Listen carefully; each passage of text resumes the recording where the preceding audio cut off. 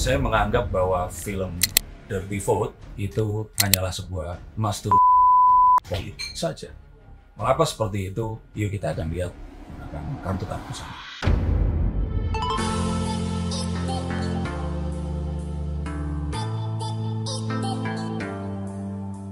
Pernah menonton film Rayuan Puro Palsu? Nih, yang seperti ini. Silahkan kalau kalian mau menonton. Dan apakah kalian juga pernah dengar film Sexy Killers yang ini? Nah ini dibuat oleh atau disutradara ya dan di Laksono itu dibuat oleh orang yang sama, pihak yang sama dan saya sebenarnya belum nonton. Dan selain yang saya katakan tadi, saya menganggap bahwa film-film itu adalah film-film black campaign atau film yang melakukan sebuah kampanye buruk tentang seseorang, mendiskreditkan atau satu pihak. Dalihnya betul, ini adalah sebuah pengungkapan data, pengungkapan fakta, tetapi melihat, kalau saya kira, saya anggap ini tendensinya ya, itu ingin menjatuhkan di saat tertentu. Karena film Rayuan Pulau Palsu ini dimunculkan tepat sebelum Pilkada DKI. Dan jelas di situ saya menganggapnya ini menyerang Basuki Cahaya Purnama saat itu. Nah, sedangkan 2019 di bulan yang bersamaan dengan pemilu diadakan, film Sexy Killers ini ditujukan untuk mendelegitimasi Presiden Jokowi yang saat itu menjadi petahana dan mengikuti pemilu untuk periode kedua. Dan sama dengan dua film pada hulunya dan ada beberapa film yang lainnya juga, Jakarta Unfair salah satunya. Maka boleh saya katakan bahwa film-film tersebut adalah film yang naif. Kita akan tahu bahwa film itu dimunculkan di Minggu Tenang, di saat seharusnya tidak ada sebuah upaya kampanye, baik kampanye yang ingin mempromosikan atau black campaign seperti ini, dilakukan oleh pihak mana pun yang bersifat memberikan sebuah informasi yang malah akan menimbulkan kebingungan di masyarakat. Kalau memang ternyata ini adalah informasi yang legitimate, seharusnya ini bisa diproses melalui hukum, dilaporkan, dan terus kemudian menimbulkan pertanyaan yang lebih besar lagi. Dan film ini ini jelas memberikan efek kejut, juga menurut saya sengaja untuk tidak memberikan hak jawab untuk siapa pun yang disebutkan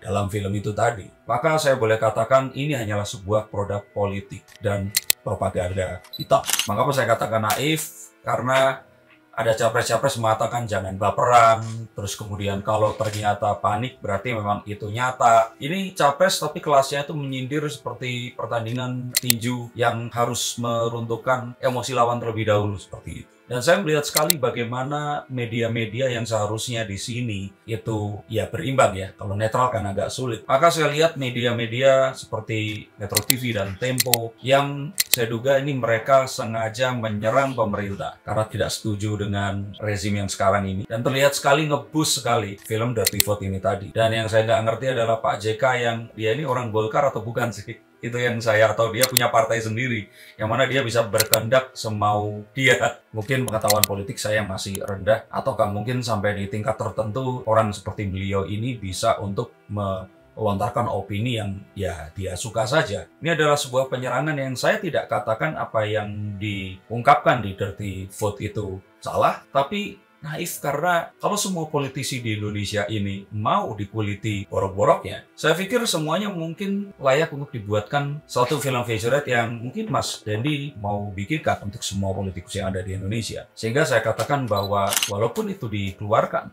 di injury time atau menit-menit detik-detik terakhir sebelum pencoblosan akan terjadi besok. Maka uang yang dikeluarkan yang entah dari mana ini, yang pasti butuh uang dok, sewa LED sebesar itu, membuat konten grafis, ya mungkin disebutnya sebagai dana sukarela dan sebagainya. Saya pun tidak menganggap ini adalah sebuah kesalahan karena menyampaikan pendapat walaupun itu berlawanan adalah hak berpendapat di Indonesia. Tapi saya bisa katakan bahwa ini hanyalah sebuah onan hanya menyenangkan orang-orang yang memang ya sudah di pihaknya ini tadi tidak bisa mengubah pilihan orang lain. Nah kalau gitu nggak usah panik dong Mas Darko. Ya betul. Tapi yang sangat disayangkan di sini adalah kericuan dan pertanyaan di masyarakat akan kebenaran dan juga hal-hal yang disampaikan dalam film tersebut tadi. Maka ini hanyalah sebuah produk yang akan menyenangkan para pembenci pemerintah para oposisi, tapi nggak akan membuat orang berubah suara, let alone swing voters. Sekalipun boleh kita katakan, ini sebenarnya hanya ada di tingkat elit, tidak sampai ke masyarakat bawah.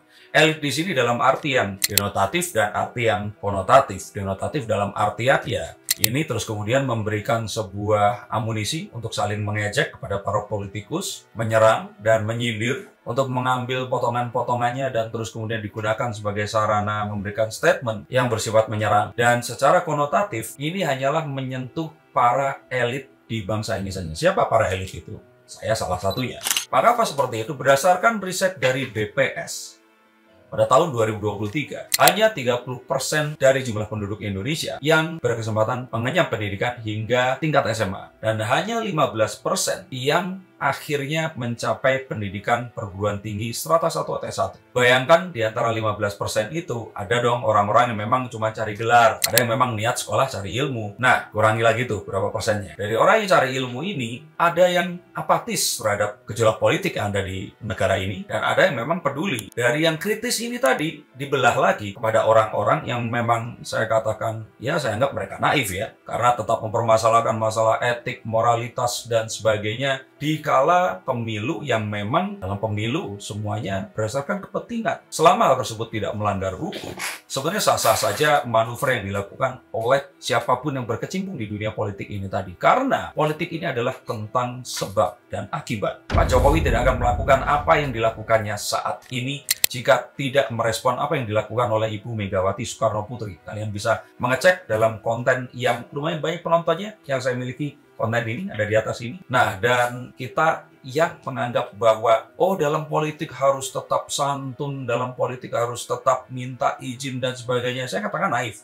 Maka terbayang hanya sedikit sekali yang mungkin akan terdampak atau mengalami perubahan eh, hati tercerahkan karena menonton film Dirty Vote ini tadi. Sehingga boleh saya kategorikan ini hanyalah langkah-langkah politis dalam kampanye seperti kemarin delegitimasi KPU dengan menyerang ketua KPU. Dan ini sebenarnya sesuatu yang ya nggak jantan. Karena di satu sisi menyerang, mencoba mendelegitimasi pemilu, bahkan mendelegitimasi lembaga negara seperti kepresidenan menyerang mengatakan bahwa menteri-menteri akan mundur padahal cuma Pak Mahfud saja yang telah mundur sengaja ingin memakzulkan presiden yang mereka mungkin nggak berpikir kalau Pak Jokowi ini dilengsarkan. Masyarakat pasti akan turun ke jalan karena kalau sekarang mereka bilang masyarakat turun ke jalan mau melengsarkan saya lihat ya hanya segelintir orang saja yang berpendapat serupa. Tapi mereka masih pengen mengikuti permainannya. Ini mirip dengan kalian semua yang kerja di satu kantor atau tempat kerja, kalian nggak suka sama bosnya, nggak suka sama pekerjaannya, kalian ngomel-ngomel setiap hari, tapi kalian masih mau terima gaji dari perusahaan. Kalian mau, maaf, buang air besar di tempat kalian makan. Maka ini sesuatu yang sangat disayangkan. Mereka ini nanti akan menggunakan hal tadi untuk kalau ternyata pemilunya nanti mereka kalah, ya mereka akan mengatakan mereka dicurangi. Sudah ketebak banget. Sekarang mereka masih pengen mengikuti nih prosesnya. Mereka berharap, harap-harap cemas, siapa tahu ternyata akan menang. Tapi nanti saat ternyata penghitungan suara dilakukan mereka kalah, mereka langsung protes tentang hal tersebut itu tadi. Merasa dicurangi. Kalau merasa dicurangi, dari awal ya nggak usah ikut pemilu, mengundurkan diri saja. Dan saat orang-orang ini berdemo mengatasnamakan nama masyarakat, ditanya dulu masyarakat yang mana? Maka berbicara tentang masyarakat, saya katakan bahwa masyarakat ini sebenarnya itu sangat pintar. Mereka ini sudah hampir dari 50 menuju 100 tahun ya, udah di tengah-tengahnya ini. Kemerdekaan Indonesia dan melalui pemilu yang sudah sedemikian banyak rupanya. Kecuali mereka diikuti ke bilik suara, ditodok dan disuruh mencoblos, saya pikir mereka akan tetap mencoblos sesuai dengan apa yang mereka pilih. Maka tuduhan-tuduhan bahwa bansos akan mempengaruhi pilihan orang, saya pikir gak, gak masuk akal. Kalau mereka memang gak suka sama Jokowi, bansosnya tetap akan diterima, dia pilih yang lainnya. Maka narasi-narasi yang dipergunakan oleh media yang sangat besar seperti Metro TV dan Tempo, saya pikir sudah gak masuk akal lagi saat ini. Maka serangan bertubi-tubi dilakukan dengan segala cara untuk mendelegitimasi badan penyelenggara pemilu ini tadi dan juga nantinya saya yakin rekam ramalan ini pasti mereka akan mengingkari hasil dari putusan pemilu yang akan ya mungkin saja nggak memenangkan mereka. Saya katakan mungkin karena masa depan hanya Allah dan Tuhan yang Maha Esa ya tahu. Maka jika ternyata ada kecurangan, kecurangan satu-satunya adalah menyulap isi kotak suara ini dengan pencoblosan yang dimenangkan oleh satu paslon tertentu. Mungkin dengan menukarnya, atau dengan di acara itu tadi, memanipulasi penghitungan suara. Selain itu, saya pikir masyarakat tidak sebodoh itu. Mudah untuk dipengaruhi. Maka sebenarnya, orang-orang yang buang air di tempat mereka makan ini, itu adalah para pecundang yang sebenarnya mereka ini adalah loser, the real loser. Mereka tidak suka akan kehidupan itu. Mereka despising their life, tapi mereka ini nggak mau keluar dari kehidupan itu tadi. Dan tetap menikmati hasil dari kehidupan. Dan saya kira orang-orang ini juga memiliki kecenderungan berharap ada keajaiban dalam sebuah big event atau kesempatan besar yang akan bisa merubah nasib keperuntungannya. Seperti berharap mendapatkan lotre, tapi mereka nggak mau bekerja keras dan mengikuti proses untuk memperoleh kebahagiaan atau kesuksesan itu tadi. Mereka mengira dengan memilih presiden yang mereka anggap akan bisa merubah kehidupan ini. Di fantasi mereka ini adalah presiden yang akan membawa mereka keluar dari jurang kemiskinan dan juga jurang nestapa ini. Maka saat pemilih presiden itu tadi hidupnya akan hijrah dan berpindah. Yang pada kenyataannya tidak hal itu tidak akan terjadi. Saat kalian memilih presiden mana pun, selalu akan ada oligarki di belakang mereka. Siapa pun presiden yang kalian akan pilih, masih akan tetap melanjutkan apa pun yang saat ini ada. Perubahan tidak akan terjadi dalam waktu singkat.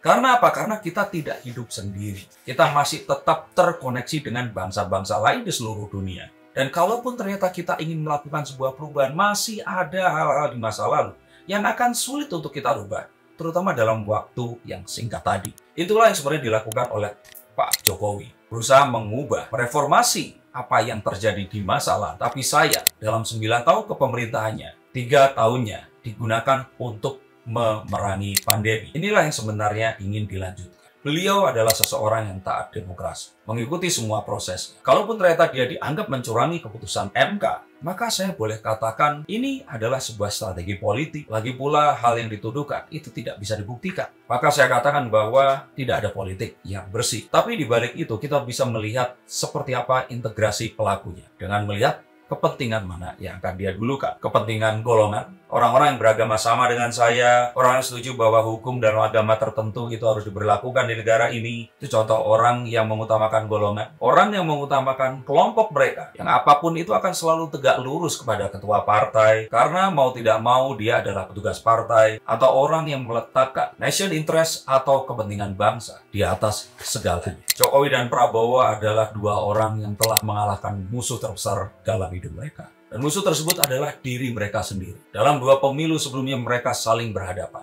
Demi kepentingan Indonesia, mereka meletakkan ego itu dan bersatu untuk bangun pertiwi ini. Melawan hegemoni dan tekanan-tekanan dari bangsa barat untuk membawa Indonesia menuju Indonesia emas. Silakan subscribe jika kalian menyukai dan sependapat dengan apa yang saya katakan. Silakan unsubscribe jika kalian tidak setuju. Tapi yang pasti berikan suara kalian besok. Saya di sini tidak akan menjadi seorang pecundang. Siapa pun pemenang pemilu kelak. Apakah itu seperti yang saya harapkan Pak Prabowo dan Gibran, apakah ternyata Anies Baswedan dan Muhammad Iskandar atau Ganjar Pranowo dan Mahfud MD, siapa pun itu akan menjadi presiden saya selama lima tahun ke depan. Mari kita sportif dalam pemilu dan ingat bahwa kita masih satu nusa, satu bangsa, dan satu bahasa. Terima kasih, sampai jumpa salam.